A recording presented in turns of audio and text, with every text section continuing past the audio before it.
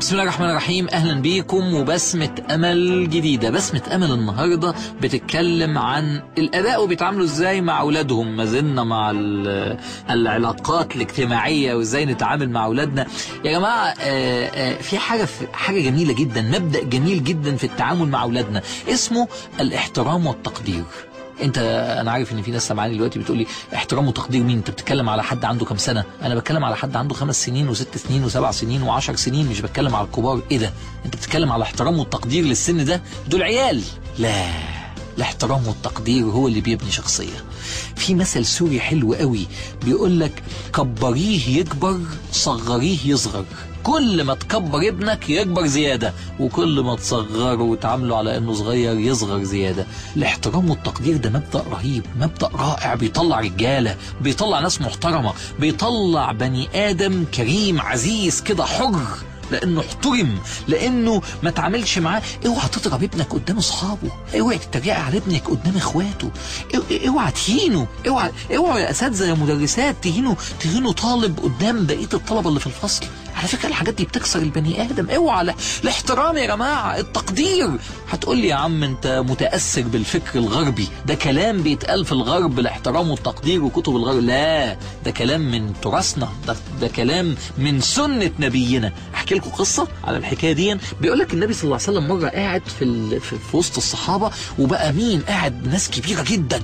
أبو بكر الصديق وعمر بن الخطاب وسعد بن أبي وقاص و... ناس يعني ناس سنا فوق ال... فوق الثلاثينات وناس مقاما آه، كبيرة جدا. بس النبي قاعد جنبه ولد عنده 10 سنين. كويس؟ والدنيا حر وعطشانين وجت مية. فطلب النبي مية فجت المية والناس كبيرة بقى قاعدة. فاحنا آه، آه، المفروض إن في يعني ال system ال- أو النظام في الإسلام إنك بتبدأ باليمين ويبدا الدور يلف من اليمين من اليمين لليمين بس ده ولد صغير. طب بالله عليك لو أنت ابنك صغير قاعد جنبك وفي ناس كبيرة قاعدة و- وعطشانين وجت مية أنت أصلا مش هتشوف ابنك مش موجود أصلا. ولو قال لك بابا بابا عايز مية هتعمل فيه إيه؟ هتقول له اسكت يا ولد بلاش قلة أدب. مش كده؟ لكن النبي الحقيقة ما عملش كده.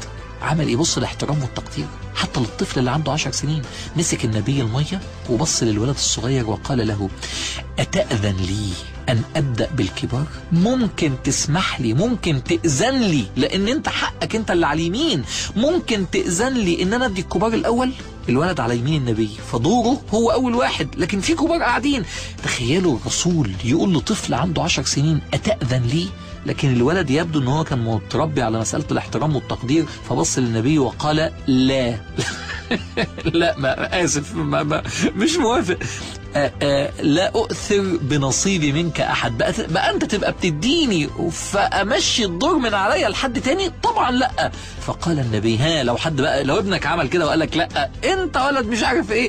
فنظر إليه النبي ونظر إلى الكبار وقال لهم هذا حقه سأبدأ به اشرب يا غلام. الله على الاحترام والتقدير. والله يا جماعة القصة الصغيرة دي تتشرح في كتب إزاي نتعامل مع الأطفال؟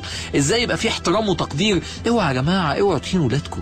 اوعوا تتريقوا عليهم. اوعوا تبهدلوهم قدام اخواتهم. عايز تعنفه قوي؟ خده في أوضة لوحده وقول له انت غلطت في كذا وكذا وكذا وأنا هعاقبك بكذا وكذا وكذا. لكن تتريق عليه قدام الفصل إيه، تهزقه قدام أصحابه. ما تعملش كده. الاحترام والتقدير مبدأ يملى البيوت ابتسامة وبسمة أمل. شكرا والسلام عليكم ورحمة الله.